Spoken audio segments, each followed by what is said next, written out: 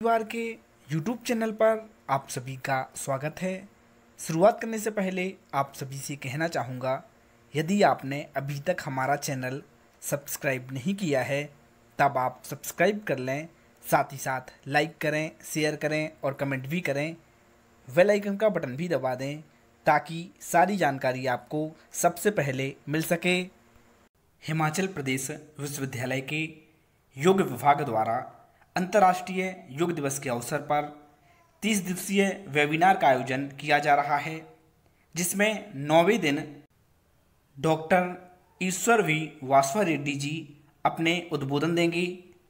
यह उद्बोधन 30 मई 2021 को प्रातः 10 बजे से आयोजित किया जाएगा।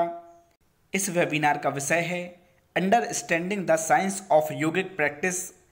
Google Meet की लिंक मैंने नीचे डिस्क्रिप्शन बॉक्स में दे दी है।